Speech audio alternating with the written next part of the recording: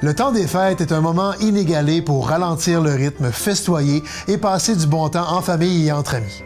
Cette année plus que jamais, ça nous fera du bien de nous retrouver autour de belles grandes tablées. J'aimerais aussi que nous ayons une pensée spéciale pour nos personnes seules et vulnérables qui n'ont pas autant de chance que la plupart d'entre nous. Alors, mes chers amis, au nom de nos conseils, au nom de nos équipes municipales, je vous souhaite un joyeux Noël et une année 2022 remplie de santé, de bonheur et de succès. Joyeuses fêtes!